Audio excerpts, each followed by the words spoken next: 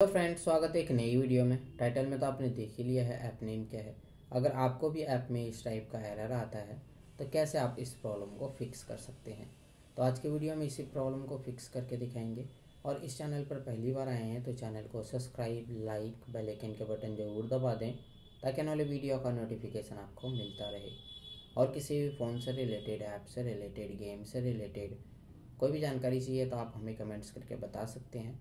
नहीं तो आप वीडियो प्ले लिस्ट में जाके आप वहाँ से भी प्रॉब्लम को सॉल्व कर सकते हैं। तो चलिए वीडियो करते हैं स्टार्ट सबसे पहले आपको अपने फ़ोन के सेटिंग्स को करना है ओपन ओपन करने के बाद आपको इस टाइप का इंटरफेस देखने को मिलेगा। नेटवर्क एंड इंटरनेट पर क्लिक करना है। फोर नंबर पे आपको मिलेगा एरोप्लेन मोड का ऑप्शन राइट साइड में स्विच मिल जाएगा। स्विच पर क्लिक करके ऑन करना है, फिर आपको ऑफ़ करना है। बैक जाना है। ऐप्स पर क्लिक करना है। ऑल ऐप्स पर क्लिक करना है, ऊपर की तरफ़ स्क्रॉल करना है। आपको देख लेना है ऐप कहाँ पर है। ऐप पर क्लिक करके ओपन करना है स्टोरेज एंड केज पर क्लिक करना है।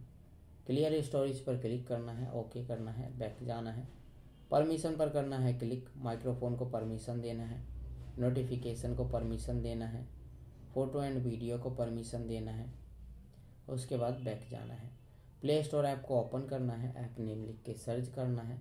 सर्च करने के बाद जो है आपको ऐप का इंटरफेस इस टाइप का देखने को मिलेगा।